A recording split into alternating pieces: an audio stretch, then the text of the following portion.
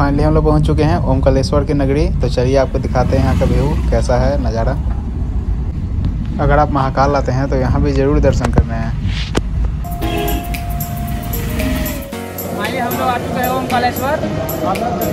नर्मदा जी के पास आ गए हैं। हम लोग जा रहे हैं स्नान करने बोट करने बोटिंग करने। वहाँ पे दर्शन करने जाएँगे। वो चारों धाम का दर्शन करवाएँगे बोट वाले, फिर वापस छोड़ यहीं पे आगे जाता हूँ, आगे भी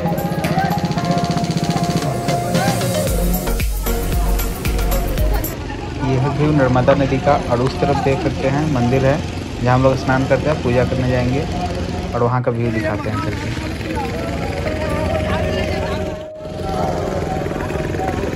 ये है बोटें जो कि आपको नर्मदा नदी पार करवाएँगी, मंदिर के उस तरफ़, और स्नान करवाने का भी किनारे पे ले जाएँगे, और इसका चार्ज है हज़ार रुपया।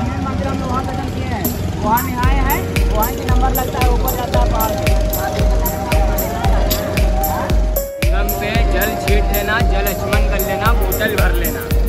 स्नान कौन कौन करेगा? भीड़ भयंकर है मंदिर में, स्नान करके जाओगे, जल स्मरण करके जाओगे।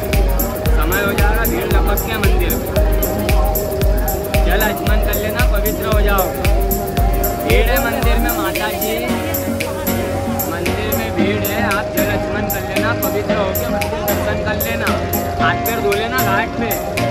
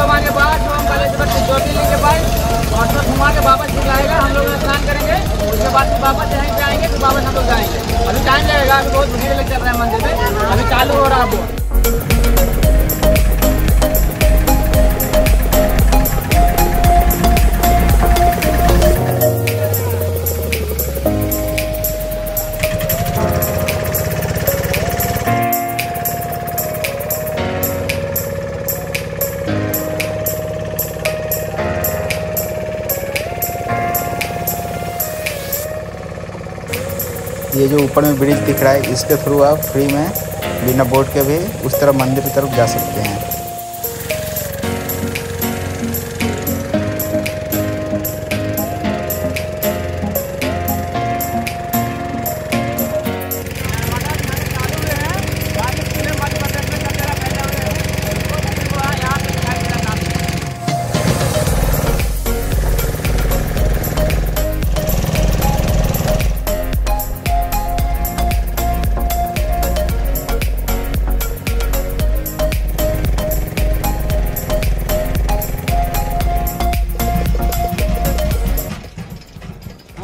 गए संगम।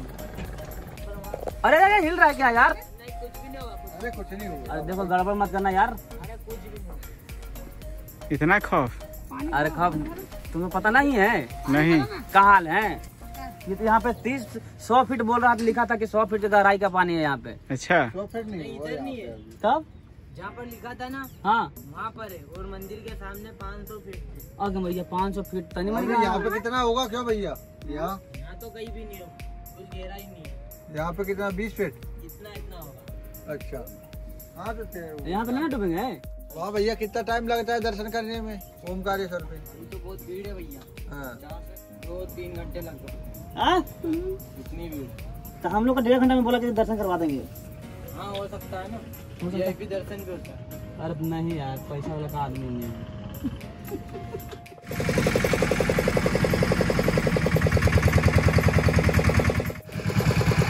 स्नान कर चुके हैं हम लोग। अब जा रहे हैं दर्शन करने। ओम कालेश्वर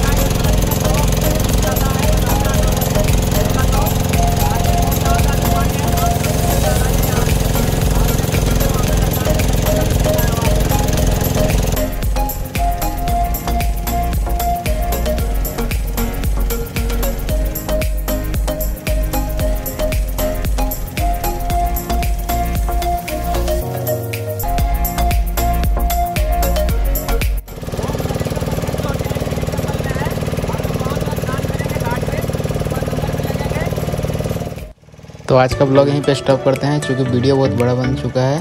तो नेक्स्ट पार्ट में बाकी का वीडियो आएगा। तब तक के लिए धन्यवाद।